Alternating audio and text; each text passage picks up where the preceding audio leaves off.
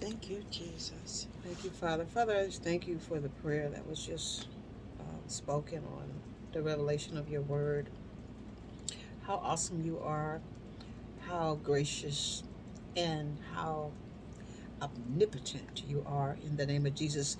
Um, how there are no words to really describe you, but the words that we do have is all we have.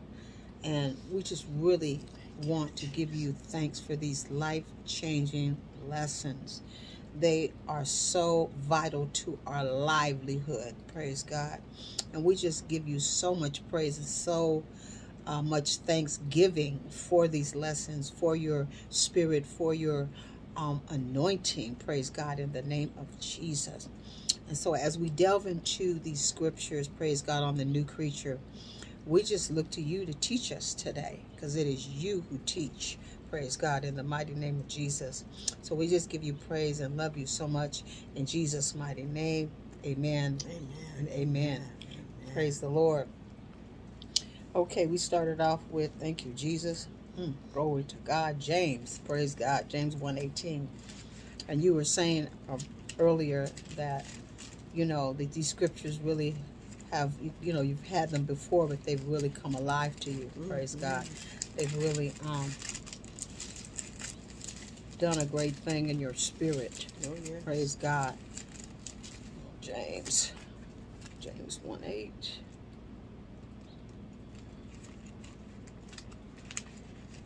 Here we go. All right. Hmm. Praise Jesus. For being as he is, a man of two minds, hesitating dubiously. James 118. Yeah, 118, I'm sorry. Uh, yeah, there I go. For being as he is a man of two minds, hesitating, dubious, irresolute, he is unstable and unreliable and uncertain about everything he thinks, feels, and decides. 1 8. Why I just swooped to that, I don't know. Uh, but here, James is talking about a double minded person. A double minded person. For being as he is a man of two minds, hesitation, hesitating, dubiously irresolute, he is unstable and unreliable, and he is uncertain about everything he thinks, everything he feels, and everything he decides. So we don't want to be double minded. I don't know why the Lord is saying this, but praise God. Uh, we don't want to be double minded. This kind of gives you really the definition of a two minded person, praise God. You know, a double minded person. We come across people that are double minded, praise God. They're unstable, they're unreliable, and they're uncertain about everything, praise God. And this one scripture is really okay, God. Hallelujah, praise God. Hallelujah. Thank you, Jesus. Um, helps us understand and not to rely on a double minded person and to be able to distinguish, to be aware of a double minded person and how to really um, respond to a double minded person. Praise God. Hallelujah. Uh, so I think that James was really trying to talk about this so we can understand about a double minded person and not rely on whether he's a pastor, whether he's your friend, whether he's your relative, or whatever understand and be able to point a double minded person out and respond to it according to the Holy Ghost. Praise God. Um, in this new creature message, being a new creature, God teaches you how to discern spirits. Praise God. How to discern spirits. Now, in verse 18, he says, And it was of his own free will. Praise God his own free will that he gave us birth as sons by his word of truth so that we should be a kind of first fruits of his creatures a sample of what he created to be consecrated to himself. Understand this my beloved brethren. Let every man be quick to hear and a ready listener. Slow to speak slow to take offense and slow to get angry. Praise god. So he just did 118. I'm glad, Lord, you be doing it. Praise God. Think about a double minded person. Know that you are, praise God, a new creature. Know that, praise God, as it was his own free will that he gave you birth as sons by his word of truth, so that you should be a kind of a first fruit, Yes. a new species, praise God, Yes. hallelujah, of his creatures, a sample of what he created to be consecrated to himself. And I like a 19, he says, understand this. You know how we say, understand this, my beloved brethren. Let every man be quick to hear, a ready listener, slow to speak, and slow to take offense and to get angry. In other words, praise God. In other words, know a double minded person. Know that you have been born again. Know that, praise God, He has given you, praise God, His own free will to be His sons, praise God, and to be first fruits, to understand, praise God, hallelujah, the things of which He gives you in life to understand and know and distinguish. Glory to God. Hallelujah. So being a new creature, God gives you, praise God, hallelujah. Um, how could I say? He gives you the awareness of what's surrounding you. When you become a new creature, you begin to see things differently. You are a first fruits of a new species. You're not like everybody else. Praise God. Hallelujah. He is able to show you to distinguish the people around you that are double minded. The people, praise God, who around you are double minded that don't mean you no good. That praise God, to distinguish, praise God, how to respond to them, to distinguish them and how to respond to them. And then being a, what does he say? A ready listener, to listen to him, to listen to what he is giving you in responding to these things. When somebody gets angry, praise God, what did he say? Be a ready listener, slow to speak. Be slow to speak, slow to take offense and get angry. All right, he's showing you how to respond. Oh, glory to God. Thank you, Lord. You know how to swoop these together. How to respond to a double minded person. How to respond to if somebody pisses you off. Glory to God. Be a ready listener. You know you should be listening to what people are saying. And then we go back again to remember you are a new creature in Christ. Yes. Remember that you are a new species. You are set apart for the use of God.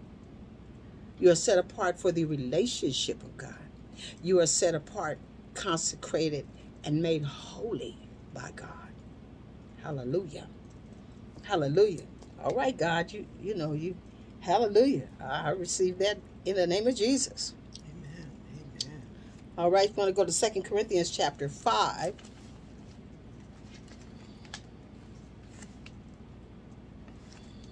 Let me get um, this up here. Make sure I have commentary here. And I really like this commentary with this because the back of it, did you read the back? Mm-hmm. Where it showed you the difference, you know, showed you what is, what isn't. Mhm. It Exactly. was very good. Very, very good. Praise the Lord. All right. Let me Get to that. Second Corinthians 5. Thank you, Jesus.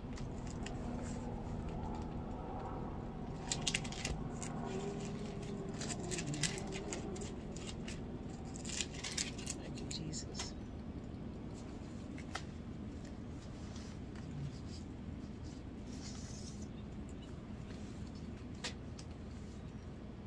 Verse 15, 515. And he died for all, so that all those who live might live no longer to and for themselves, but to and for him who died and was raised again for their sake. Consequently, from now on, we estimate and regard no one from a purely human point of view in terms of natural standards of value. No. Even though we once did estimate Christ from a human viewpoint and as a man, yet now we have such knowledge of him that we know him no longer in terms of the flesh. That was good. Oh yeah. I like the first part and the second part. This really had changed my life. I kind of looked at things differently when I read this because it says in 15, and he died for all, so that all those who live might live no longer to and for themselves, but to and for him who died and was raised again for our sake or for their sake. And I say our sake, you know, um, who died and was raised again for their sake. Praise God. So he died for all so that all those who live might live no longer to and for themselves. That's something I believe that everyone should take in, be serious about. Know that you have to sacrifice in the lesson earlier today on the relationship, the sacrifice that you make of your will for God's will. You know, and coming into the place of where you die to yourself. Praise God. You no longer live for you. You live for God. And, and it was we. I think we were in. Um, we were talking about Paul, and Paul said it was his his purpose and his his aim to know Christ, to know Him. So if you no longer live to and for yourself, you live to and for Christ, to know Him, to really get to know Him, to have a personal, intimate relationship with Him. And we got into relationships, and it was just an awesome thing about how to make babies, praise God, in relationship. So it's like you live no longer to and for yourself, but to and for him who died and was raised again for your sake. And it says, consequently, from now on, we estimate and regard no one from a purely human point of view. And when it says human point of view, you're not looking at people from a human point of view, from your carnal nature. You are allowing the Holy Spirit on the inside of you to give you insight into that person, place, or thing, or circumstance. And you don't look at anyone from a purely human point of view. You don't look at them because they're cute, because they dress nice, or because they talk good. You look unto their spirit. So you have to allow God, praise God, to show you just who you talking to. Who are you talking to? Are you talking to the person? Are you talking to the spirit? And God can distinguish that. So God said, don't look at people from a human point of view. What they look like, how they talk. Look at them from a spiritual point of view. That's why it says that consequently from now on we estimate and regard no one, it says, from a purely human point of view in terms of natural standards of value. No, even though we once did estimate Christ from a human point of view as he walked the earth, praise God, as a man, Yet now we have such knowledge of him. You're supposed to have such knowledge of him, praise God, that we know him no longer in terms of the flesh. Now we got to go deeper. We got to go deeper into who Christ is. Praise God. We got to go deeper on the inside so that it can be seen on the outside. Praise God. Christ in you, the hope of glory. All right. So therefore, if any person is engrafted, I like that word the Amplified Bible says. Therefore, if any person is, is engrafted in Christ, the Messiah, he's a new creation. He's a new creation, a new creature altogether. The old previous moral, the old previous moral and spiritual condition has passed away. Do you see that? The old previous moral morals or standards set by the church, set by society, praise God, and spiritual condition has passed away. Behold, the fresh and new has come. Christ is the fresh, he is the new. And the what does this song say? They, his mercy and grace is new every morning. Great is his faithfulness. Praise God. He's new. He's new. He's new every morning. Praise God. He's new every morning. Great is his faithfulness. Behold, the fresh and new has come. So that's how you have to look at yourself as being a new creature. As being a new creature, praise God, you are new. You are a totally new species. You are nothing like anybody else. You are like what God created you to be and what he continues to make you to be more and more like him. In spirit first, and then expressing it in the natural. You, Praise Jesus. God. Thank you, Jesus. Glory to God. Therefore, if any person is ingrafted, born again, saved, sanctified, filled with the Holy Ghost with the evidence of speaking in, speaking in tongues, In Christ the Messiah, he is a new creation. And the reason why I say uh, uh, uh, speaking in tongues, praise God, I emphasize that only because that is a witness of him being on the inside of you. Praise God. Glory to God. So the old previous moral and spiritual condition has passed away. Behold, the fresh and new has come. Now the commentary says, and it's kind of hard to read, but I love it. You you got all of it, huh?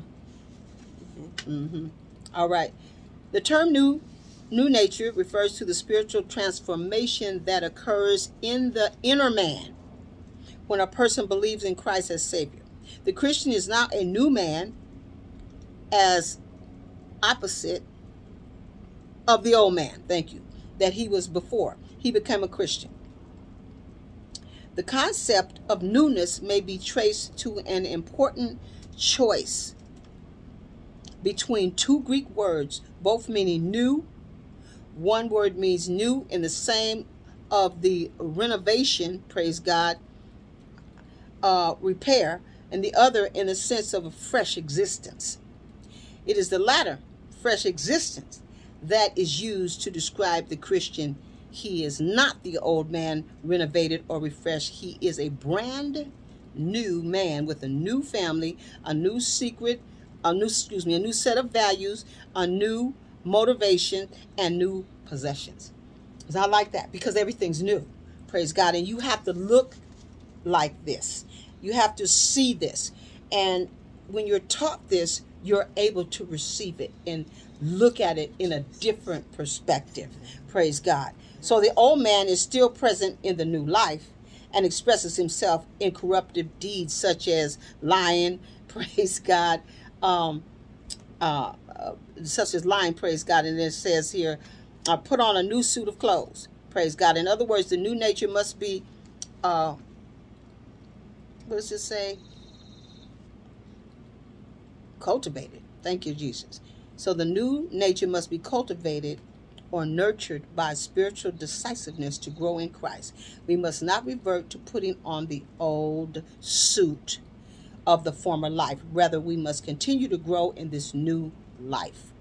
The message of the new nature is a message of supreme hope the Spirit of God can accomplish accomplish, praise God, a life changing transformation for all who will only believe in Christ. Amen. And I thank God for being able to read this because it's difficult to read. You were able to get it, huh? Mm, yeah. Amen. Praise God. Uh, this this commentary came from a friend of mine. I really loved it and uh, put it in this message. And I loved it. I don't know what Bible was, was in, what commentary, but it's an awesome thing. But I had gotten this, which I love this, and this will help you. But you put off the old man and put on the new man. And it gives you scripture, you know, what it says when you put off the lack of love, put on love. When you put off judging, you let God search your heart. When you put off bitterness, you uh, put on tenderhearted and forgiving. When you put off unforgiving, an unforgiving spirit, you put on a forgiving spirit. When you put off selfishness, you put on self-denial. When you put off pride, you put on humility. When you put off boasting, you put off esteeming others. Praise God. When you put off stubbornness, you put on brokenness. When you put off disrespect for authority, you put on honor, authority. When you put off rebellion, you put on submission. When you put off disobedience, when you put off disobedience, you put on obedience. When you put off impatience, you put on patience. When you put off ungratefulness, you put on gratefulness. When you put off covetousness, you put on contentment. When you put off discontent, you put on contentment. When you put off murmuring and complaining, you put on praise. When you put off irritation to others, you put on preferring in love. When you put off jealousy, you put on trust. When you put off strife and contention, you put on peace. When you put off retaliation, getting even, you put on return good for evil. When you put off losing your temper, you put on self control. When you put off anger, you put on self control.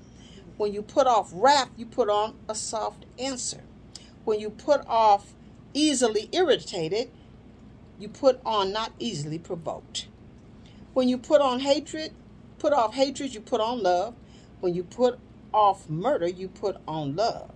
When you put off gossip, you put on edifying speech. When you put off evil speaking, you put on a good report. When you put off critical a critical spirit, you put on kindness. When you put off lying, you put on speak the truth. When you put off profanity, you put on a pure speech. When you put off idle words, you put on a bridle tongue. When you put off wrong motives, you put on spiritual motives, or right motives. When you put off evil thoughts, you put on pure thoughts. When you put off compla- complacency, complacency, you put on zeal, com- being complacent. When you put off laziness, you put on diligence. And when you put off slothfulness, not doing your best, you put on wholeheartedness. Wholehearted, yes. Excuse me. so this is very good to kind of check yourself. It's a checklist, yeah. Yes, it mm-hmm. is to check and see where you're at. Praise God. This is good. Thank you, Jesus.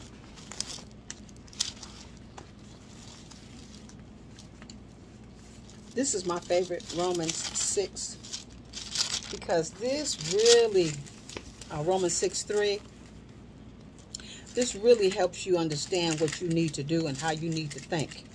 Praise God, is being buried with Christ. And I really don't think that people that read this uh, really get it and begin to, to really um, test themselves with it or examine themselves with this scripture.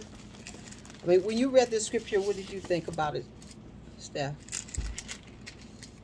When you started reading this, uh, Romans 6, verse 3, where it talks about you got to bury yourself, where it says you are, um because Paul was talking to the Romans, praise God, and, um, you know, they were asking him some questions about, he says, what shall we say to all this? Are we to remain in sin in order that God's grace or favor or mercy may multiply and overflow? And so Paul says, certainly not. How can we who died to sin live in it any longer? So they were asking questions about, you know, um, sin. And he told them, he said, Are you ignorant of the fact that all of us who have been baptized into Christ Jesus were baptized into his death? So he was really giving them a lesson about dying to self. Praise God. Back in that day, praise God. I don't think they really, really understood it, but he asked them, Were you ignorant of the fact? In other words, when you got saved, when you were saved from hell or saved from death, praise God, you were buried with Christ. You were buried with his crucifixion. He died, you have to die. You know, so it says, We are we were buried therefore with him by the baptism into death. Death to your will. Praise God. So that just as Christ was raised from the dead by the glorious power of the Father, so we too might habitually live and behave in the newness of life. So we're talking about the new creature. So if you're a new creature, you're special. Praise God. You're different from everybody else. Well, you got to die the same death that Jesus did. You ain't got to be nailed to the cross, but you got to nail your will to the cross. You got to nail yourself to the cross. Praise God. What you want to do, how you want to do it. That needs to be nailed to the cross so that Christ can fill you up to overflowing with himself. He's not going to take away your personality because he gave you that. But you are going to have to, you know, be redeveloped in Christ. Praise God. So, if we have become one with him by sharing the death of his, verse 4, we shall also be one with him in sharing his resurrection by a new life that is lived for God. We know that our old unrenewed self was nailed to the cross with him in order that our body, which is an instrument of sin, might be made ineffective and inactive for evil, that we might no longer be the slaves of sin. So this changed my life right here. Verse 7 For when a man dies, he is freed, he is loose, delivered from the power of sin among men. Now, if we have died with Christ, we believe that we shall also live with him. So you can't resurrect unless you die. Praise God. So you died to yourself and then you're resurrected a new creature. You're resurrected a new way of thinking. You're resurrected, praise God, a new way of doing things, praise God. Hallelujah. For when a man dies, he is freed, he's loose, he's delivered from the power of sin among men. Now, if we have died with Christ, we believe that we shall also live with him. Because we know that Christ, the anointed one, being once raised from the dead, will never die again. Death no longer has power over him. Death no longer has power over him. Praise God. So we go back to this. We were buried, therefore, with him. Ask yourself, have you been buried with Christ? Have you, uh, you know, put your will up on the cross? Are you willing to do that? That's the key right there. Praise God. Are you willing to do it?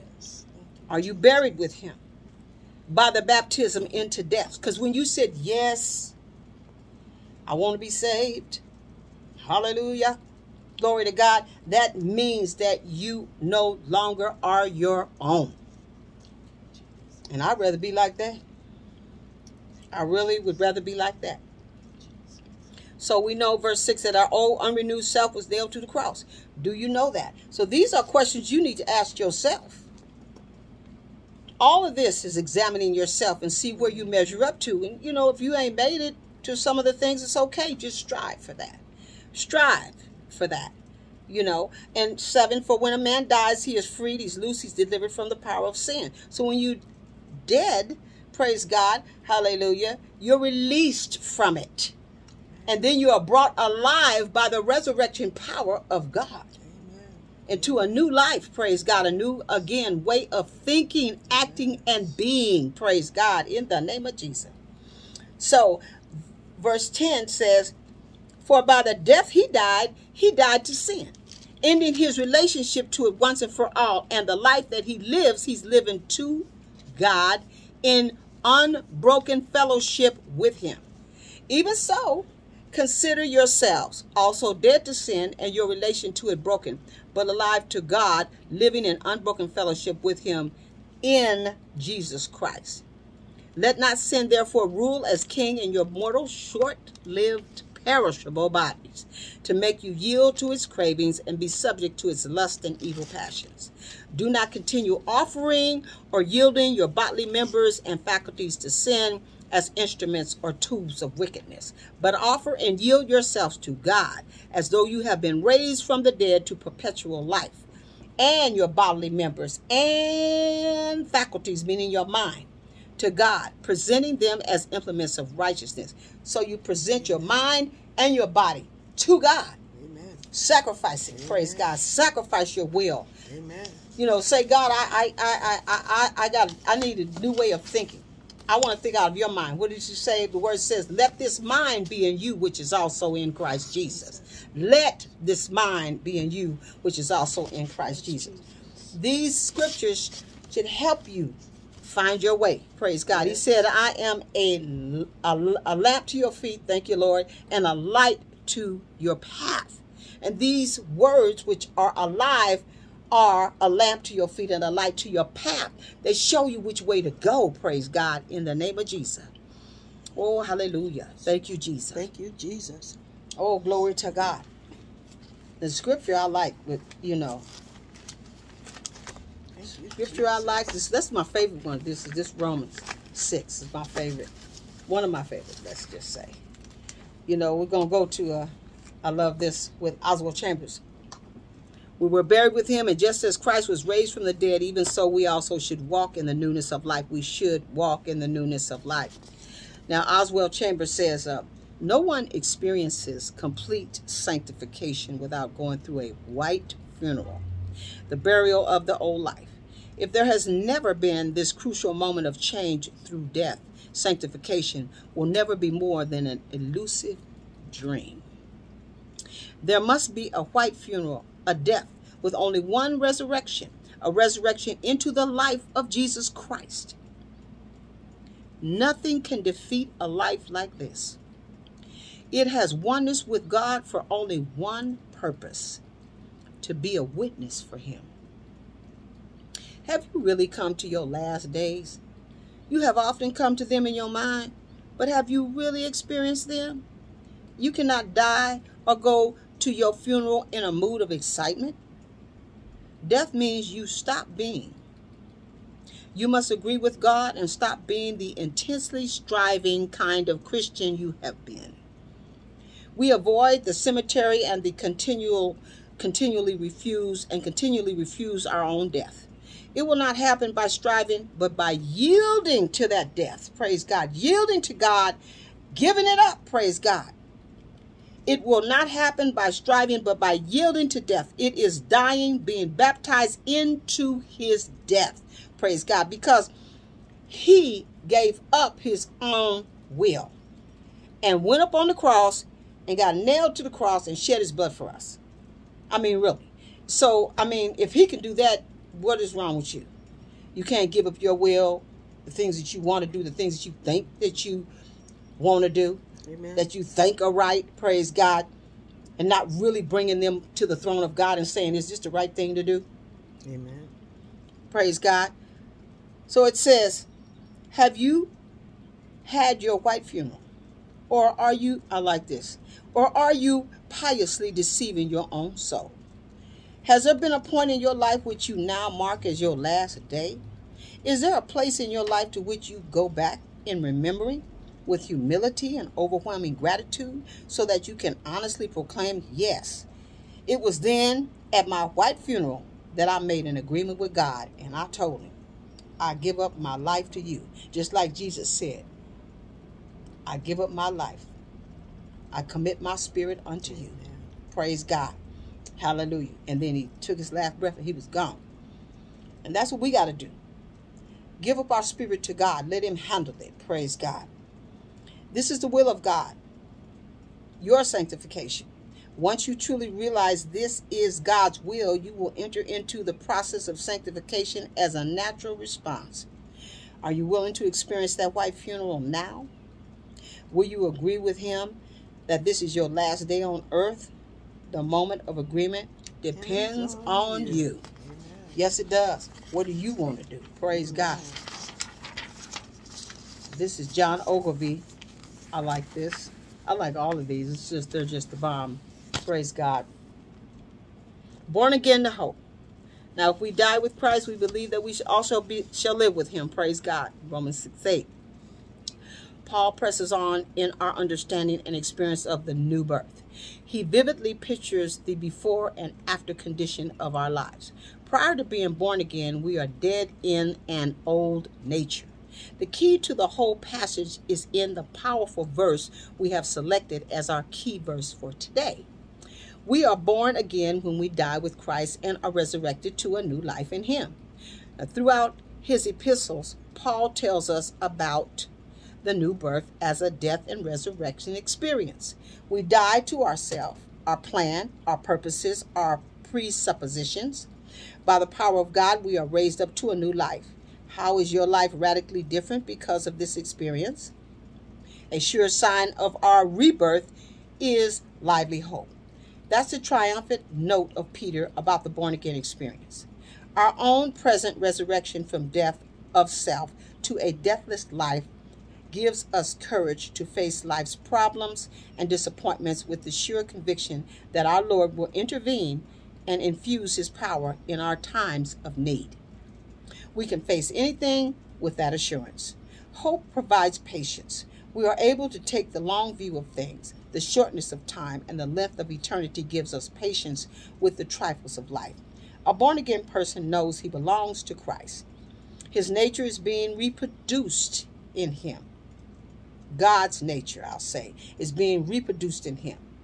Would the people around you say that your rebirth have made you a contagiously hopeful person? That was good. Yes, Good very good. I mean, ask yourself that. Praise God. John Ogilvie, praise God. And John Ogilvie, again, our old attitudes in a new life. Our old attitudes in a new life. Praise God. This is verse 13. And do not present your members as instruments of unrighteousness to sin, but present yourselves to God as being alive from and dead, and your members as instruments of righteousness to God. So he says, therefore, yesterday we began our thinking about his stirring word of transition and implication.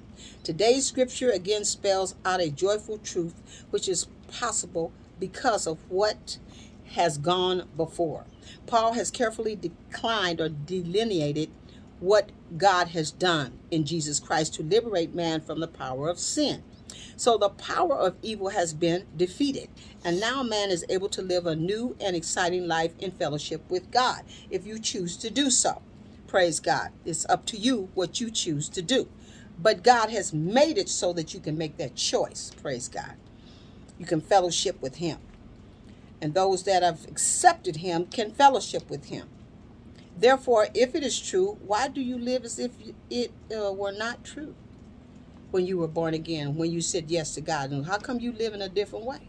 How come you're not striving to know Him, to know His ways instead of your own? So, if this is true, why do you live as if it were not true? Why go on living with old attitudes, behavior, and problems if God has truly forgiven, truly accepted, and truly empowered you for a different kind of life? Why continue living in the old man? Amen. In the light of all that we believe, why are we living the way we do in frustration, anxiety, and fear? How easy it is to acknowledge the fantastic truth of the gospel and go on living the way we did before we believed. It was true for us. Praise God. We are like prisoners who find it difficult to believe that we have been pardoned, because we have been pardoned, and are free to live as released, free men and women of God. We have the choice. We become what we concentrate on. I read earlier today about what is your focus. Your focus should be heaven, no matter what. Your focus should be heaven in everything that you do, whether you have a ministry, whether you know you um, are um, ministering to someone, whatever God has called you to do, your focus should be heaven. I'm doing this because God asked me to do it. He wants me to do it. He chose me to do it. And this brings me in good fellowship with Him. And I'm looking to go to heaven. I'm looking to go to heaven, so I'm going to do it right. I'm going to do it like He wants to have it done. And if I do it like He wants to have it done, then He's pleased with me. And that's why I'm doing it. Not because I want to, to glorify myself, but I want Him to say, Well, good, my a faithful servant. Praise God. Thank you, Jesus.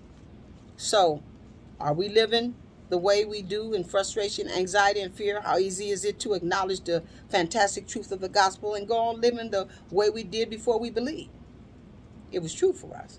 We are prisoners who find it difficult to believe that we have been pardoned and are free to live as released men and women of God. We have the choice. We become what we concentrate on. We become the kind of person we envision. Our picture of life will be fulfilled in action and deed. What if we accepted the true picture of our life as under God's control and as an extension of His love? How would we act if we truly believed we were no longer instruments of sin, but instruments of God's righteousness? Hold that picture. And that's exactly what you will find you are able to do. That was so good. Oh, that's awesome. That's awesome. You know, these um, these are just so wonderful to, you know, really meditate on. Praise God. Really meditate on and then examine yourself and see where you're at.